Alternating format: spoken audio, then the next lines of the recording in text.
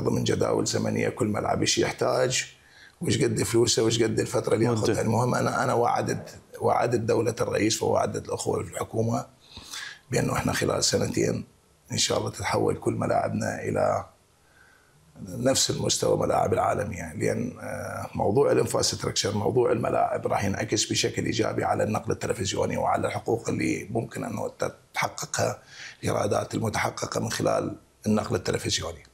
لذلك تشوف إحنا حتى على شركة اشتار الآن فرضنا إنه كل شيء تغير من كاميرات اس دي اليوم إلى كاميرات 4K.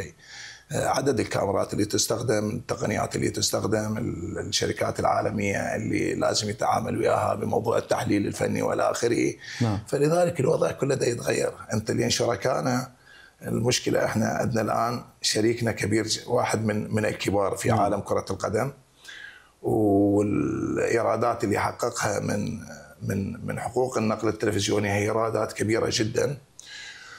وبالتالي أنه إحنا بدنا نعمل يعني سويا ب بهذا بخصوص هذا الموضوع اللي راح هو اللي يضيف إلى الدوري ويضيف إلى المشاهد متعة عندما يشاهد المباريات مالته من أرضيات إلى إنارة.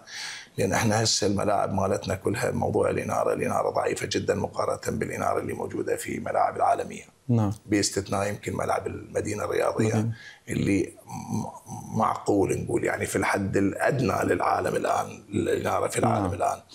لأن الفيفا standard أو مواصفات كأس العالم اليوم ما بين 3800 إلى 4200 لوكس ملاعب كأس العالم في قطر. إحنا أكبر أعلى ملعب عندنا 2400.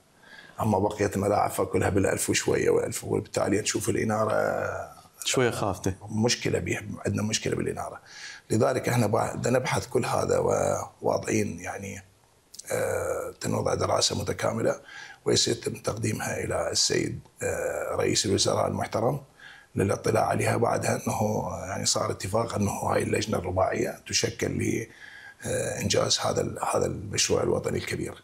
بالإضافة إلى ذلك اليوم إحنا ما ممكن اليوم نطور كل هذا من دون التفكير بتطوير العم الأندية وعمل الأندية.